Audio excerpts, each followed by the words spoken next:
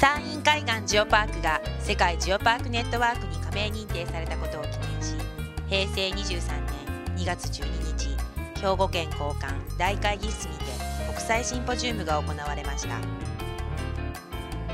国際シンポジウムには山陰海岸の魅力についてみんなで語り合い情報の交換をしようとおよそ300人が参加しました。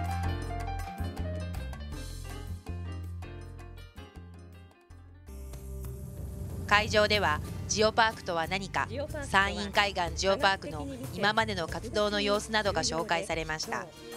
大地の恵みは人々の暮らしに深く根付き独自の文化を発展させてきました。現在の地球の時期と反対の方向へ自化していることを発見し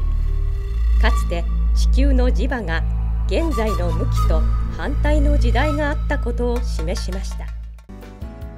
世界ジオパークネットワーク委員のニコラス・ゾウロスさんがジオパーク活動と地域経済の活性化についてギリシャのレスボス島を例に挙げながら講演しました。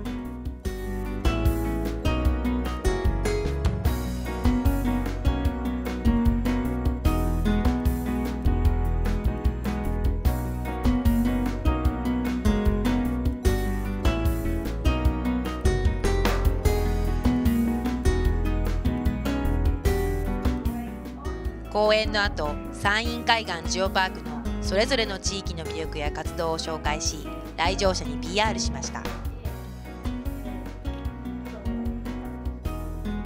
パネルディスカッションでは山陰海岸ジオパークと地域資源とその活用をテーマに熱い討論が交わされました。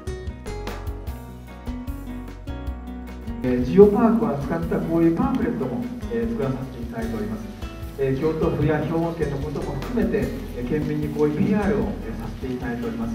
この水に生かされてそしてたくさんの光に生かされて植物が生えて動物が生まれ育ちそのシンボルがコウノトリだというふうに考えるとコウノトリはちゃんとジオパークの仲間で